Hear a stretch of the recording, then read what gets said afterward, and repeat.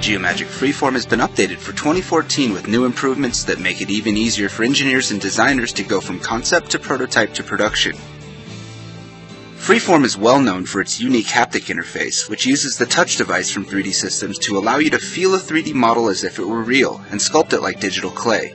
Until now, a touch device was required to use the software. But now we've enabled many of the modeling tools in Freeform to work with a mouse, making the software more flexible, more portable, and easier to use no matter where you are. Using a mouse, you can perform many of the core modeling operations available in Freeform like carve, tug, smooth, sketch, sub-D, and many others on newer existing designs.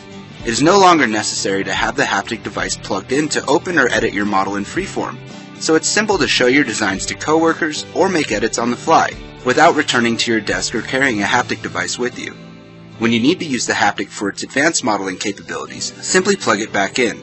The software seamlessly switches between mouse and haptic interfaces. Now, for the first time ever, you can download a free trial of Freeform to see for yourself how easy it is to create complex organic shapes that are always 3D printable and always manufacturable. For more information on the unparalleled design capabilities of Geomagic Freeform and the improvements we've made in 2014, please visit 3dsystems.com.